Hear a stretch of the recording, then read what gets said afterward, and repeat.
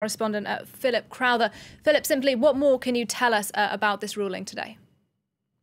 Well, this is a sure sign that uh, who you put on the Supreme Court of the United States really makes a difference because this was a 5 to 4 decision in favor of this decision taken by the president in July of 2017 to ban transgender troops from the US military. The five uh, judges who ruled in favor of the president's decision and his policy were the five conservative judges, and that included the likes of uh, Neil Gorsuch, who was put in place by the president in his first year uh, in the White House, and then, of course, Brett Kavanaugh, uh, who controversially entered the Supreme Court last year. They were part of those five who ruled in favor of this decision. There were four uh, dissenters, and they were the four left leaning judges. All four had been placed in their positions, or rather nominated uh, by Democratic presidents. What this means for now is that this is the very first chance for the Trump administration to actually ban transgender troops from the U.S. military. So far, there had been so many court challenges that this was never actually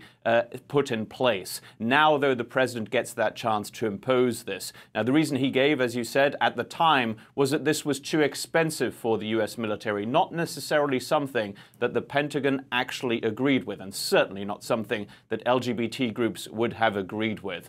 Now, there is still one court case pending, and that one, uh, we don't know yet when that decision will come. So essentially, what the Supreme Court did here is it came up with a stay, meaning that for now, the president can impose his policy. It could still be stopped by a lower court, but it would still be taken up by the Supreme Court to really rule a final decision, which most likely, again, will go in favor of the president. This has been a big court battle uh, for the president against many LGBT groups. One of those battles still going on.